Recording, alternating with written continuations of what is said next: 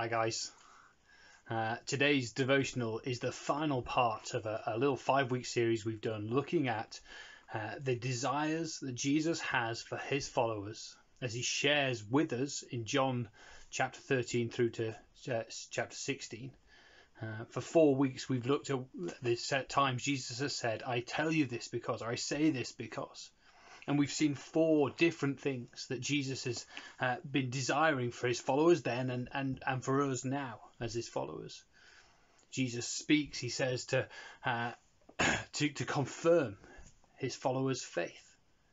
Jesus speaks these things, he says, because he wants to, to maximize their joy. And he wants to inspire their courage. And he wants to establish their peace. For the final one in our, our series to, uh, we're looking at something not that Jesus said, I say this because, but instead we're looking at the actions of Jesus and why it is that he does the things that he does. And so we're jumping back to, to the beginning of this evening, the, the Last Supper. Jesus sits down for a, a meal with his disciples, and they begin to eat, and then Jesus does something that, that shocks them. He gets up and starts to, to wash their feet.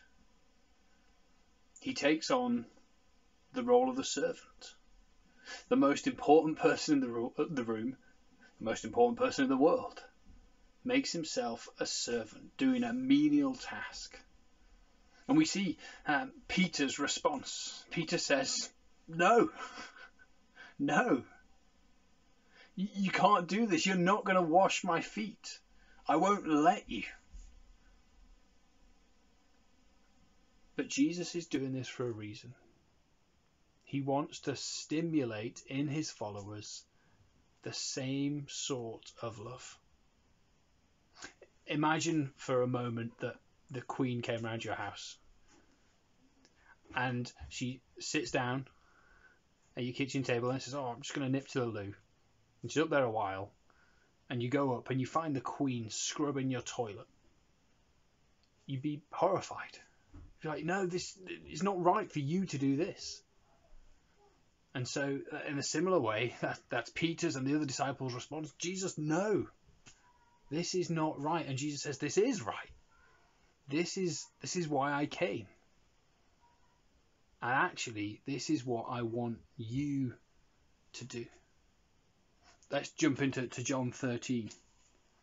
Look, listen to verse 12. When he had finished washing their feet, he put on his clothes and returned to his place. Do you understand what I've done for you? He asked them. You call me teacher and Lord, and rightly so, for that is what I am.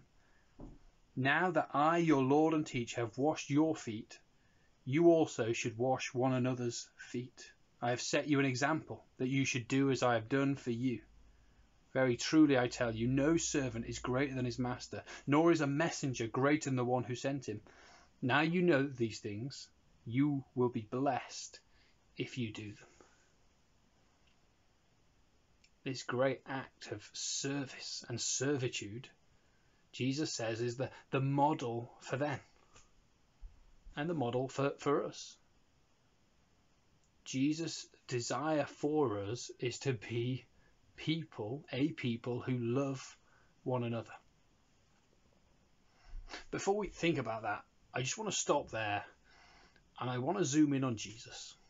Because as we think about the love of Jesus, I want us to think about the loveliness of Jesus. When we think of the word loveliness, we can think that that's quite, maybe quite feminine, um, maybe quite soft, gentle. Maybe if you're a, a, a man, that's something you think, well, I'm not sure I want to be lovely or something that, that I want to aspire to. But Jesus, as he serves, shows his his goodness, his greatness. I think we've seen a little bit of this recently uh, during the, the, the lockdown uh, with this clapping for the NHS, this recognition of the, the greatness of the NHS that people would serve, would give of themselves, would risk their own lives for the sake of others. And I think it would be right to say that as people have gathered outside their houses to, to clap,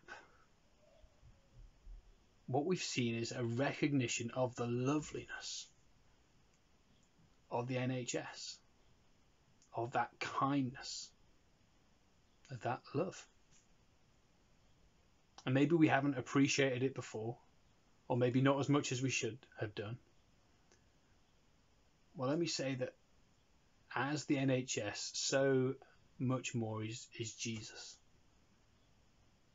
Jesus is lovely because he, even more so than the NHS, is someone who serves sacrificially. And why do I say more more than the NHS? I'm not putting the NHS down. The guys that work for the NHS they do such a, a wonderful job, but but Jesus stoops lower. He starts higher. He has more to lose, more face to lose. It costs him more to serve the disciples on that, that night. It costs him more to, to serve us.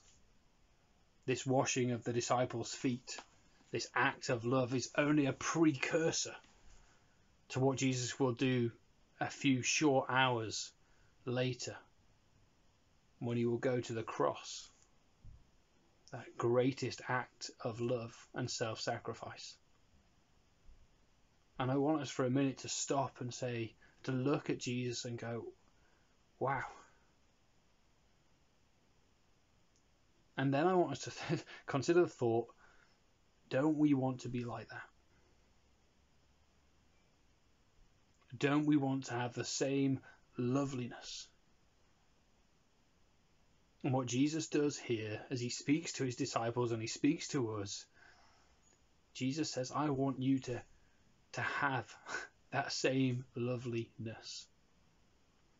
I want you to be a people that love each other. Let me read again from, from chapter 13 a little later on, where Jesus will say the, the same thing again to his disciples. Chapter 13, verse 34 A new command I give you love one another. As I have loved you, so you must love one another. By this, everyone will know that you are my disciples, if you love one another. Jesus desires for his people to imitate, to replicate his love. That people would see in the church a group of men and women, boys and girls, who give of themselves for the sake of loving other people, who go out of their way for the good of others. And as we do that, Jesus says, people will know that we belong to Him that we are his disciples.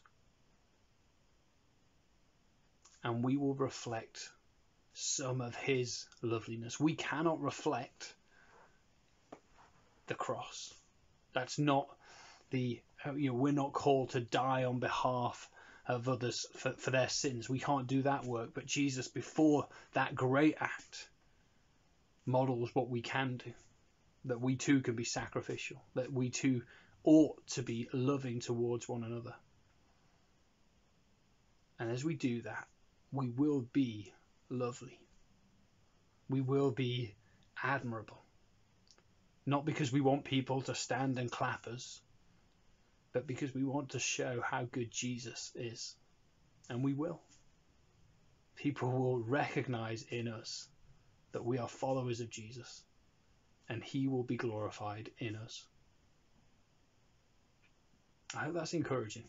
I hope that's encouraging, especially especially if you're in that place where you feel particularly unlovely because of sin, because of struggle, because of doubts. Jesus calls us to love one another, and there are a thousand practical ways we can do that, even in lockdown. But He also desires for us to be lovely as we reflect let me pray. Father, we thank you for, for these words and these actions of Jesus. And we pray that we would hear them and that we would uh, do them, that we would be a people, a church that loves one another. or that gives of ourselves for the, the benefit of others. And as we do that, we pray that you would uh, cause people to, to see and to say that they must belong to Jesus, for they act like Jesus. Lord, that would be a, a wonderful, glorious thing for us. Lord, for the, the world to know that we belong to you. Father, we pray that you would do that in us and through us. In Jesus' name and for his glory we pray. Amen.